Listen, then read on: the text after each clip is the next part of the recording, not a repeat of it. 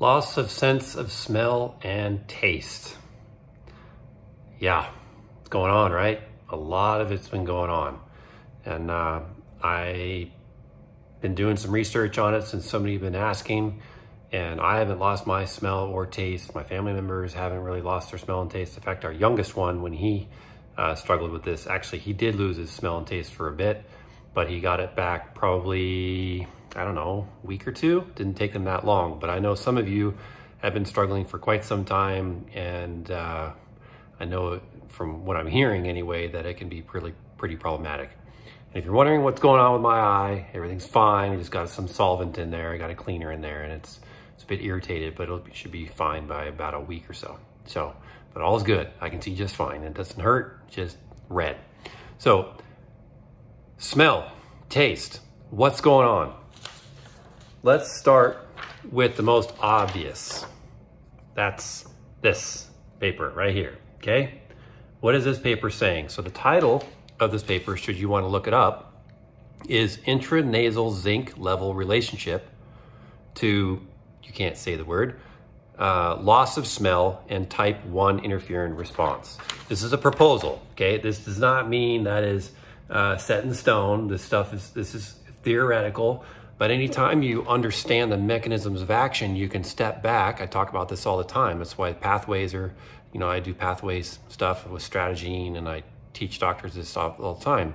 But if you understand how genes work and the tools that are needed for these genes to function, then you know how to restore those genes. And you also, if you look at what interferes with these genes in terms of the environment, like viruses, what makes them work harder or slower, then you also understand some things. So, why would you have a loss of smell and taste after a viral infection? Well, your immune system uses a lot of zinc, a lot of zinc. In fact, I didn't know this, but iron is the number one mineral storage in your body.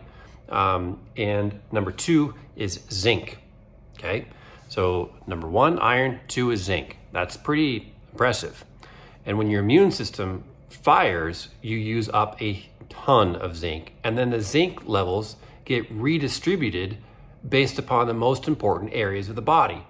So, taste and smell, sorry, not so important. Your body's gonna pull that zinc out of there and it's gonna use it and redistribute it in other areas to protect you.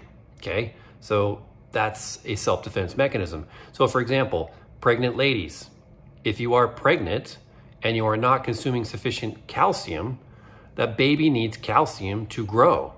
And so they, they're growing bones, right? And other things. So if, if you don't have sufficient calcium coming in, your body is going to be losing calcium from your own bones to reallocate that and distribute it to the developing baby. So osteopenia uh, is potential consequence of being pregnant. So having a viral infection loss of smell and taste is a consequence of a zinc deficiency because the zinc is redistributed to other tissues where the zinc is more important and a dirty gene is involved. So I just learned this tonight. So we have proposed that the local drop in nasal zinc levels may induce transient loss of smell, anosmia or anosmia, that the local drop in nasal zinc may induce, okay, reading it again, sorry slow down.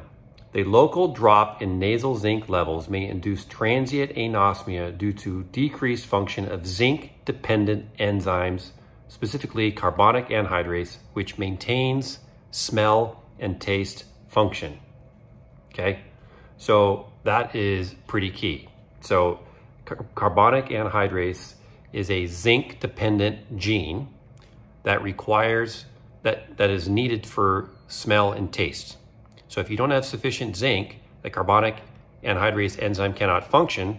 If it cannot function, it cannot maintain its job to support your taste and smell. So support healthy zinc levels with a zinc lozenge. Some of you are taking zinc tablets. Zinc tablets are worthless. If you go into a manufacturing facility and you hear how they're making tablets, like these one a day Flintstone pills, or these tablets that are whole food tablets, but they're they're hard. They're really hard. It sounds like jackhammers, and there's high heat as well. So the high heat and the high pounding and the high pressure, you don't have teeth in your stomach, and a lot of you don't have sufficient stomach acid.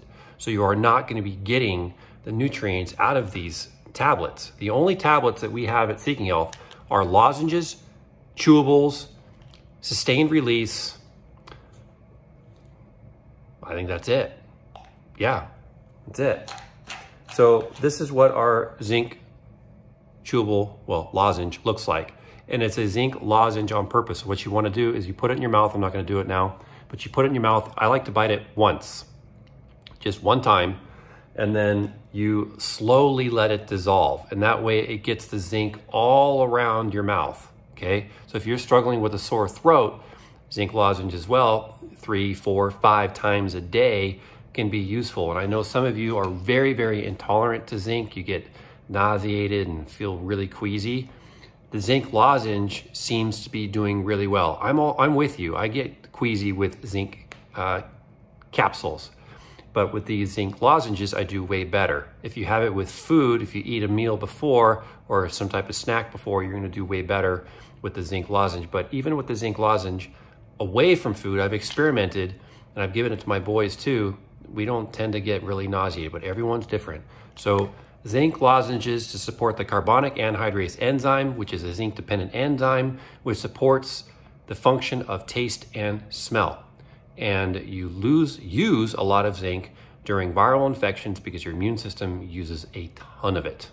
Okay, now are we done? No. This paper. This was interesting. Intranasal vitamin A uh, is beneficial in post-infectious olfactory loss. This paper was published in 2017. They're actually doing a study in England right now where they are using vitamin A drops in the nose for loss of sense of, of smell and taste. Well, loss of sense of smell specifically. Now, zinc, they also did a study with putting zinc in the nose. That's not a good idea. Um, that's the problem. Actually, let me talk about zinc for a second. Too much zinc can also contribute to loss of smell and taste. So I, am throwing that in there. I probably just confused the heck out of you, but it, it's not, don't think that more is better. There's, there's, it's a bell-shaped curve. You want to be right at the top for the optimal zinc levels. So, you know, you don't want to be taking too much. So I would be looking at no more than, you know, 45 milligrams a day. These are 15 milligram uh, lozenges, I believe. Yes, 15 milligram lozenges. And you'd be taking uh, one in the morning, one in the afternoon, one in the evening, and uh, taking your multivitamin with some copper in there too, so you can get some copper balance. Um, so back to vitamin A. So this study looked at using vitamin A inside the nose for, for loss of smell in individuals. And what they found was um, they did this, they did 10,000 IUs for two months. So they put basically, uh, as a as give you an idea, this is 10,000 10, IUs is two drops. So 5,000 IUs of this vitamin A drop is two drops, um, would make 10,000 IUs, okay? So 5,000 IUs per drop would be two drops. And the researchers did two drops for eight weeks um, applied topically at the head back position. Hopefully I don't have any boogers in my nose. So the head back position, they put two drops, two drops, and then they, you know, that acted locally in the nose. But that's all they did. And I was like, well, why wouldn't they also take it orally, right? So I would be considering taking the vitamin A drops orally and to support the vitamin A. And I don't know the mechanism of action like I do with the zinc. Um, I didn't, I should have read about it, but didn't this video, I also can't get too long. What did they find out? 30 37% of all post-infectious patients treated with the vitamin A exhibited clinical improvement, whereas only 23% in controls. So this was a significant result with a p result of 0.03. Okay, um, and also uh, vitamin A produced significantly greater improvement compared with training alone. So vitamin A, intranasal vitamin A at a dose of 10,000 IUs per day for two months may be useful in the treatment of post-infectious olfactory loss. Okay, so talk with your doctor about using vitamin A uh, intranasally um, for, you know, for supporting a loss of, of smell.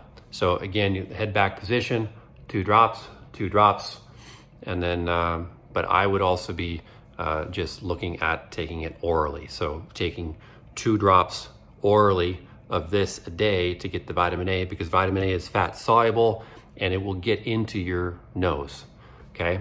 So that is a good thing to consider. So two drops a day of vitamin A drops and I would be looking at one to three uh, lozenges a day of zinc lozenges. And there was a there was a lady who commented, I think it was this week, it's all a blur now, but she said that she went to her naturopathic physician and for her loss of smell and taste, and she used 10,000 IUs of vitamin A. Doctor probably found the same paper that I'm reading now, along with zinc lozenges. I think she, you know, she probably said around 45 milligrams to 60 milligrams of zinc a day. So that's three to four lozenges of optimal zinc a day. So, and she's probably listening to this right now. And if you are, thank you because you spurned me to look for this because look, this is theoretical. I've not personally experienced it. We have not had loss of, of taste or smell in my home. Um, that was long term, so I wasn't like scrambling to resolve it. Usually my family uh, makes me uh, rush to fix things. Um, but uh, in this case, we resolved it pretty quickly, probably because we gave a lot of zinc to Theo when he was sick. Okay, so you can get zinc lozenges at seekinghealth.com and you can get the vitamin A drops at seekinghealth.com. Now, this stuff, shake it, and the vitamin A is messy. Um, so I'm gonna open it now, and when you open the, the dropper, uh, slide the dropper alongside the bottle before you pull it out okay? And it is this color. It's brown color because it's in a sunflower phospholipid base. It's naturally brown, okay? And it tastes good. Your kids will have no problems taking this. Pregnant ladies, one drop, one drop a day for you.